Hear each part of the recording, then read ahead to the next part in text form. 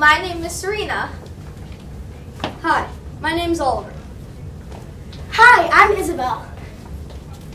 Hi, I'm Jackie. Hi, I'm Tanner. Hi, I'm Lina. So, what is the NORA project? The NORA project is a project that helps raise awareness of some some conditions that kids have. And it also helps share each other's stories. It shows that no one is normal.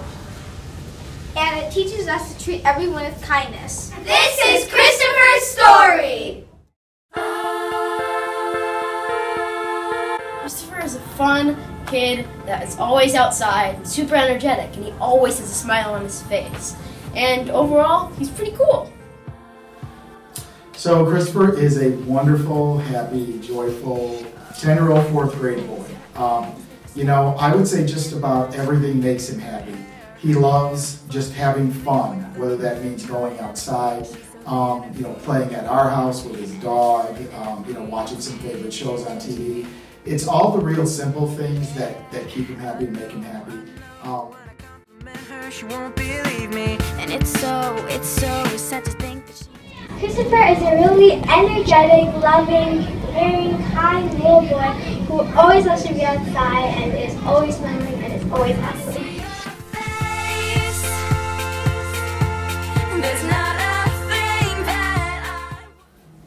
Well, for Christopher, I think is very charming. Um, he's a very smart person, and he's so lovable and just so much fun to be with. And I think he's cute.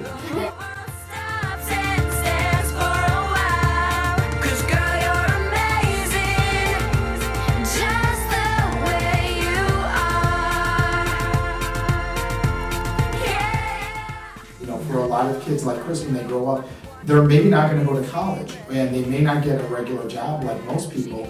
They it might look different for them, and so we already need to have those conversations about listen, what is school going to be like now, but then what is it going to be like maybe in ten years, and then what else is going to happen for him as far as um, you know him being able to be independent, take care of himself, um, and also for us to get to a point where we say, listen, um, mom and dad may not always be able to take care of you. And so what will it look like when that Chris is a full adult and what will his life be? There's not a thing that I would change. 'Cause you're Christopher faces is that he has autism spectrum disorder, which makes it hard for him to communicate or do physical activities like we can do. One challenge is um, uh, Christopher has is he's nonverbal, so that means he can't talk. And he, one thing that he uses to communicate with other people is to is that he uses a iPad that has all these random things of words, uh, like what he likes, um, what's his favorite songs, and what he wants to say, and he uses it to then talk with other people and say funny things or listen to some music and uh, yeah.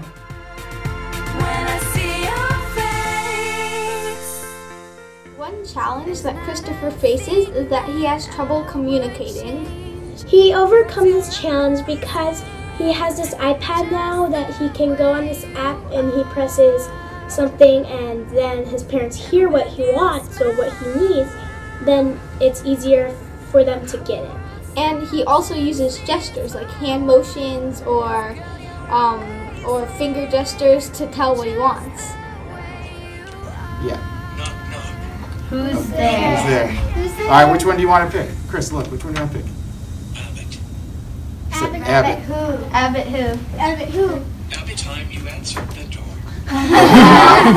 And so it's it's nice. One of Christopher's accomplishments is that he's slowly becoming independent in terms of when he's hungry. He goes to the refrigerator. We can, you know, ask, "Oh, what would you like?" You know, things like that. Or he helps himself to snacks. So it's it's a nice thing. Slowly but surely, I think he's being able to, you know, um, be independent and. Um, you know, so for me, that I think that's what normal kind of falls in that you're able to take care of yourself, you know.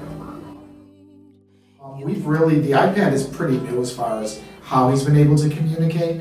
Um, most of his life, it's really just been us understanding what he's trying to tell us or go for, or if he's trying to gesture, you know, he has learned to like point at things. Sometimes he'll point at things he wants, sometimes he'll point to himself, like, I want that, kind of a thing. So that's a pretty simple one. Like following us around with bacon.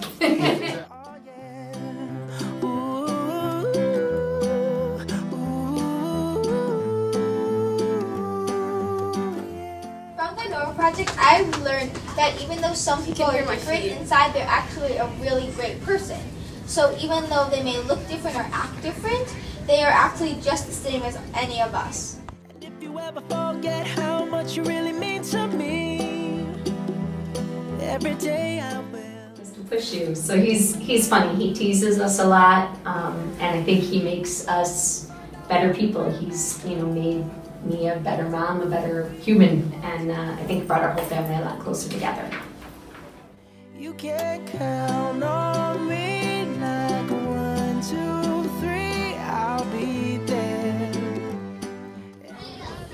One thing that I've learned from Christopher is to always be kind, caring, and empathetic towards one another, and also that just because somebody looks or acts different than you doesn't mean that they really are any different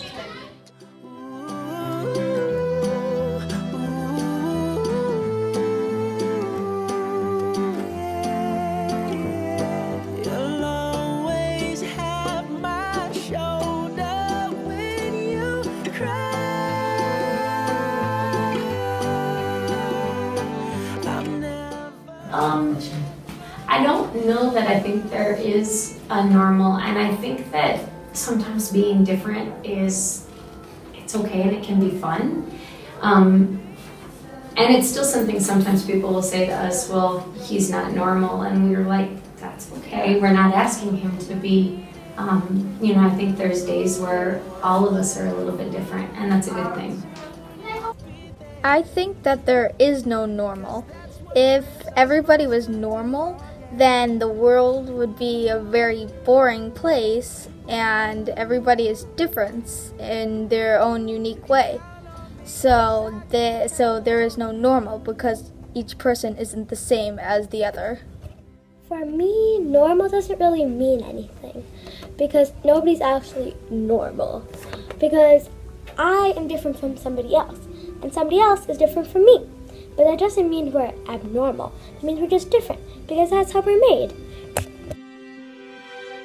I close my eyes and I can see a world that's waiting up for me that I call my I think being a good friend is being somebody who, um, whatever whatever the circumstances, is always going to be there to help you, support you, listen to you.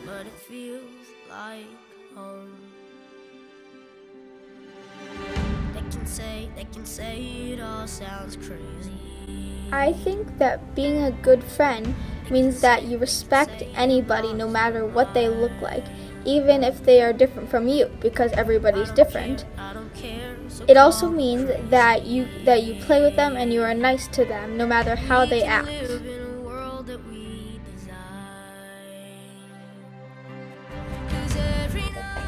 For me, being a good friend means always being there for someone and always being kind. Most important, for being a good friend, it means to be loyal and be trustworthy and always have that person's back.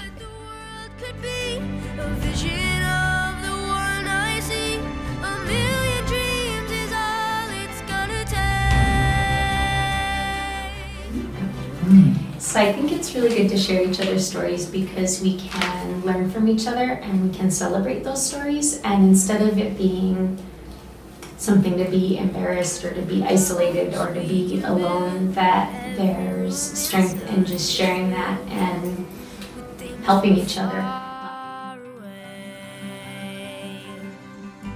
Special things I compile. The reason why we should share each other's stories is because we get to know the person better, and we know their differences. They can say, they can say it all sounds crazy. They can say, they can say we've lost our minds. I don't care, I don't care if they call us crazy. Run away to a world that it's important to share others' stories because it lets you know where they came from, why they act that way, and overall, it just lets you get to know them better than you already did.